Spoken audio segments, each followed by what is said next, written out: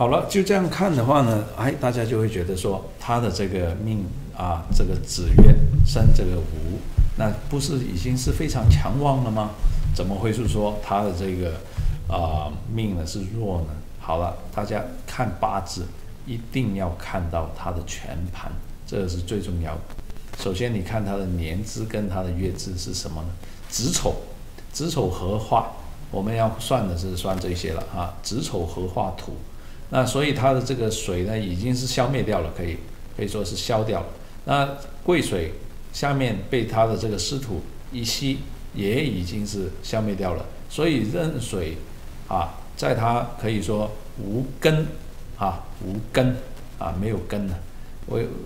呃，壬水它需要金或者是需要需要水来帮助它。那么在它无根的时候呢，那这个就是出了一个很大的问题。而这个值又跟它的这个日支又正冲，而且它时支也是这个正冲啊，值午就怎么样啊？对冲啊，最对冲啊。我们算的八字很简单哈，我教大家一个。啊，只要你背着这个，你算八字以后呢，你就很容易。我们呢拿出了这个左手啊，左手这一只是我的左手啊，那你就拿出左手，就从这个戴戒指就结婚戒指的这一个下面这里哈，就算子啊，所以子丑寅卯辰辰巳午未辛酉戌亥啊，这十二个时辰就出来了。那在那十二个时辰里边，你就可以知道了，它这个就是什么呢？太阳时，人聪明的已经聪明到一个绝顶的地步，就是我们中国人。这一个时候在这里就可以看到整个时辰，还有整个太阳啊、星空，还有它的这个月亮，它的运转在地球上面运转一圈一圈的这一个图，子就是子时。啊，就是在天黑的时候，呃，最阴暗的时候，午就是这个太阳正中当旺的时候，就用这个中指最顶顶，就是等于你这个太阳在你头上面的时候，所以这两个是对冲的啊，一阴一暗啊，一一一阳一暗，那这个子午啊，你就知道了，这对冲。那另外啊，子丑啊，丑又跟啊。子丑寅卯辰巳午未啊啊丑又跟未又是对冲的啊这个对冲啊这边又对冲，那所以这个就很容易算，你一算你就可以知道了。这个只要你背就可以知道。那所以呢，他的这个八字里边啊就已经出了这个问题了。那子午冲很厉害，那他的。八字里边呢，就在他的，我们也可以看得到他这个图了啊。最最开始的时候，就是癸亥，这个运啊，他一出生，那出生呢，在他呃一岁的时候已经入运了，那所以一岁到十岁，他就走这个运。但是这个运是给他什么呢？给他非常好的一个好处啊，给他非常好的一个就朋友啊，伴侣啊。或者是他的啊学习啊，或者是家人呐，各种方面各种各样的帮助都已经给得到他了。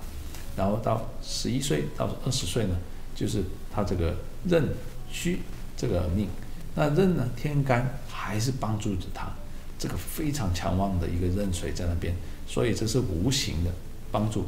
而他呢坐坐下，因为他缺了水，他这个走的这个戌，这个属火的。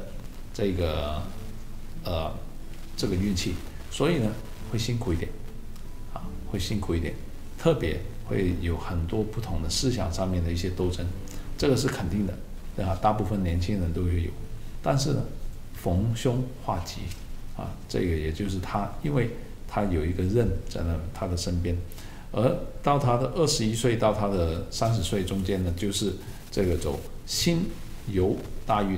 啊，辛酉大运是怎么样呢？辛就是生住他，镇住他的这个天干，这个壬水，啊，就是它的根。然后酉也是生住它的这个根，所以非常的强旺。从他二十一岁开始，就已经走入了这个非常大的一个大运。然后到他的这个三十一岁、四十岁之间呢，根生大运，偏官啊，偏官，偏官呃偏偏印，对不起，偏印，偏印呢啊，跟正印呢有一点不一样。正印呢可能会带给他有一点点懒惰，有一点点啊，就是，但是呢也是正面的来讲，也就是喜欢什么，想要什么。也就顺利的得到，比较不用那么辛苦，但但是呢，在呃这个偏印上面呢，就是他也可以得到，因为偏印更大，给到他的这些东西更强，只不过呢，他可能会有很多思想上面的一些斗争，有一些啊不同不为人知的一些反面的思想的东西，就是偏硬给一个人不同的东西，就偏硬是怎么样呢？就是。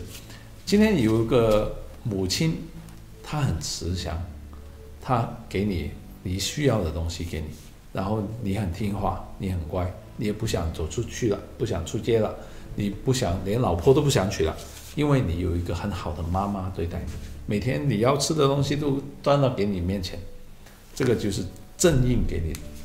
那偏印呢是怎么样呢？有一个妈妈，她真的很爱你，但是呢。她给你的东西更多，她给你的钱更多，但是问题是，他喜欢骂你，啊，你会整天有一些思想斗争在那边，那这个就是有一点有一点点不同的地方。那所以在他的这个四十岁、四十一岁以前，他有走这个偏硬的这个大运，这个啊根生大运。那这两个二十年里边呢，这这这些大运呢，可以说是都是对他非常好，一片美景。那走了四十年的大运了，那到了他四十一岁，走了几位大大运啊？几位大运呢？这个是啊，非常非常不好了。几位大运呢？属土的，天干地支都是属土。那从他的四十一岁开始，其实我可以断定他已经出现了问题，而他的公司呢，也是在那个时候也在卖的，所以他。不是现在才卖的，他一早就已经有这个有意，他改变他的生活各方面。呃，所以他在他的这个四十一岁的时候，他的甲己合化土啊，大家可以看得到，他的这个月令就属啊月月啊月干就甲跟这个己啊就合化就成土了，所以天干一片土了，已经把他的这个水已经埋掉。